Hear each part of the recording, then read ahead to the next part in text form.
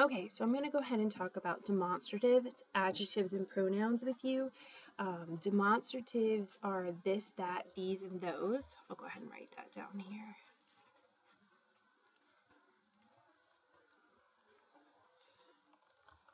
This, whoops, this, that, these, and those.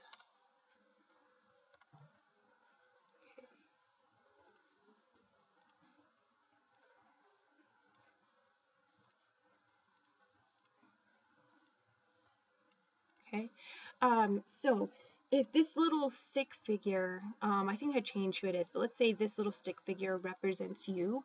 If you're holding something in your hand, like this little um, stick figure is holding a book, and you want to use a demonstrative, you would pick a form of este for whatever's in your hand, because este means this or these. So you would say, este libro es muy interesante. So you use a form of este when something is close to you basically in your hand or on your person. If you are talking about something in somebody else's hand, um, but you're engaged in a conversation, like these two people are very close to each other, you're going to use a form of ese, which means that. So here I'm saying, este libro es muy interesante. This book is very interesting, but here I'm not going to use este anymore. I'm going to switch to ese because now I'm the girl with the backpack and I'm talking about this guy who's holding the book. So I'm saying, ¿Cómo es ese libro? What's, what's that book like? And if you're talking about something really far from you, like here's the girl with the backpack, and now she's talking about these books way over here, that's when I pull in aquel, a form of, of aquel. Me gustaría leer todos aquellos libros. I would like to read all of those books way over there. So basically, um, these guys mean this and these. The ones right here mean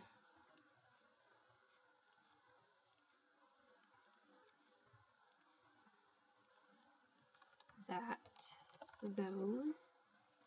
And the ones right here mean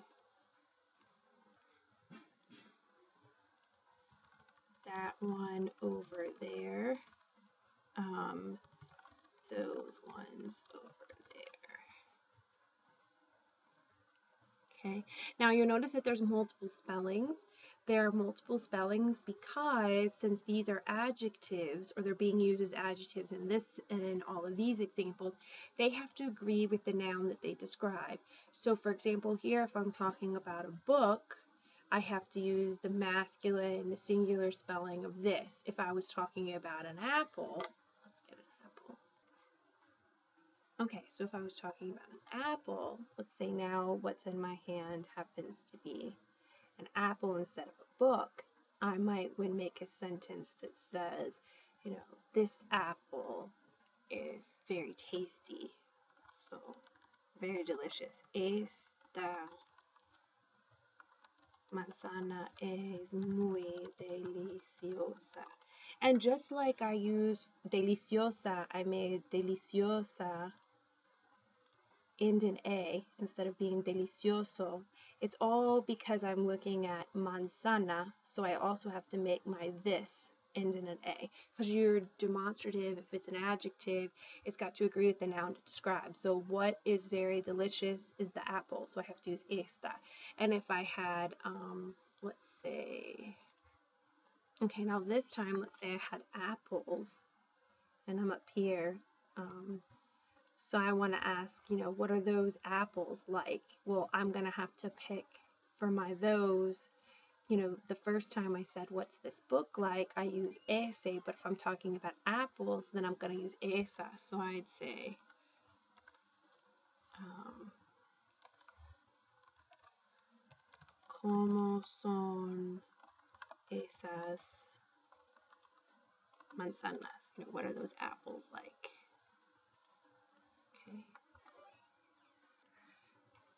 Okay. You can also use demonstratives as adjectives, and they used to change their spelling, but that has since changed, making it a lot easier.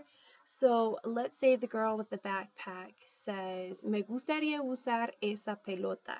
Okay, and um, if you look here, pelota is ball.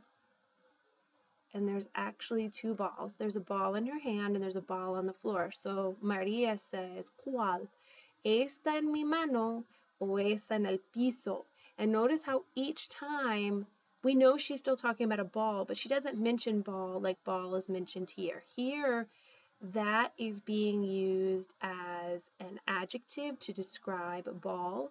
Here, esta and esa, this and that are being used as pronouns to replace ball. So you once you know what you're talking about, you can take the noun out and just use this one, that one, um, that one over there, but you've got to still make it agree. I still use esta and esa as opposed to, you know, este and ese um, because what I'm talking about is uh, ball and it's feminine.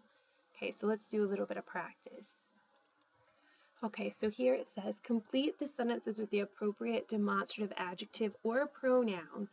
Um, and remember that your demonstrative has to agree in gender and number with the noun that it's either describing or replacing. So here it says, quiero comprar libros allá muy lejos. Okay, so quiero comprar blank libros allá. Allá means really far from the speaker. Allí means far from the speaker. And aquí means really close. So if you see aquí in your sentence, you're going to use um, this and these or form of este. If you see allí, you're going to use a form of ese. And if you see allá, you're going to use a form of aquel. Well, we're using allá, so we're going to use a form of aquel. So my options are aquel, aquella, aquellos, aquellas. Mm -hmm. Well, if what I'm talking about are libros, which is masculine and plural, I'm going to want the masculine and plural spelling of um, aquel, which would be this one.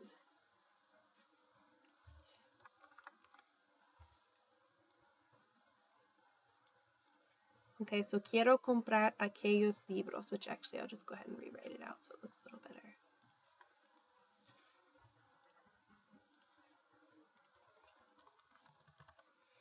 Okay, puedes traer blank película romántica que tienes allí. So I'm using allí, I'm going to look in this column. Película is feminine and singular, so I want the feminine singular spelling of um, the ese column, so it would be esa is what I would use. So me puede, puedes traer esa película. Ellos van a servir sándwiches fabulosos aquí cerca. So I'm aquí, I'm looking in the este column. We're talking about sandwiches, which is masculine and plural. So then my masculine and plural word in this column is estos.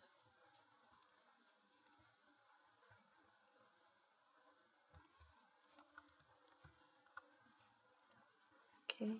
Um, ¿Qué es blank cosa allá? I'm looking at allá, so I'm going to go in this column.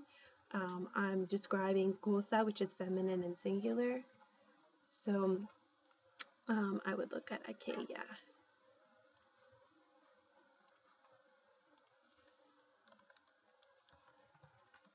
Aquella chica es muy inteligente. ¿Qué es blank cosa allá? Muy lejos. Um, oh, whoops go back to the chica, I, I didn't see that it says aquí cerca, so I'm actually supposed to be looking here. Again, chica is feminine and singular, so I should go here, and it should be esta.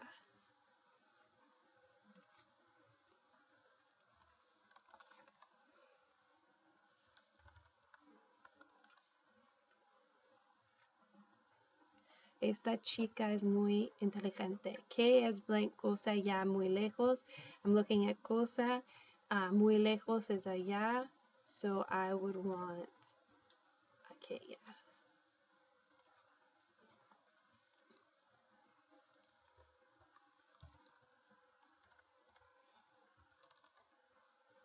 Vas a beber um, café aquí cerca, so I'm looking here. What I'm describing is café. So I would use este.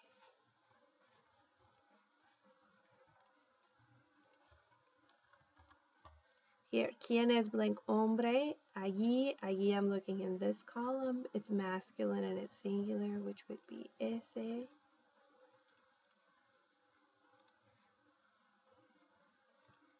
¿Quién es ese hombre allí. Blank, allí lejos, no me gusta. We're still talking, so who is that man over there? Um, that one over there, I don't like. We're still talking about a man, so we would put ese. Okay. There also happen to be um, gender neutral demonstratives, those that um, so we've got este, eso, and aquello. They don't have plural forms and they're used to point out ideas, actions, or concepts or to refer to unspecified objects or things. So if you're saying like, I don't like that, and you're not identifying what that is, maybe it's a behavior. Um, like if my children hit each other, I might say, aquello no me gusta. Or if somebody treats somebody bad, I might say, you know, aquello no me gusta. No comprendo eso. I don't understand that um, which would be a concept or an idea. Esto está mal. This is bad. Or this is wrong. Um, ¿Qué es esto? ¿Qué es, um, ¿Qué es eso? Which makes sense. If you're trying to identify what something is, you don't know what it is, so you can't ascribe gender to it. So these are some examples. ¿Qué es blank? ¿Qué está aquí? ¿Qué es esto? You're trying to identify.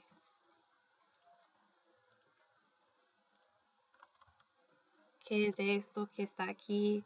That's ridiculous, or that thing that you said is ridiculous. So you would say, eso es ridículo.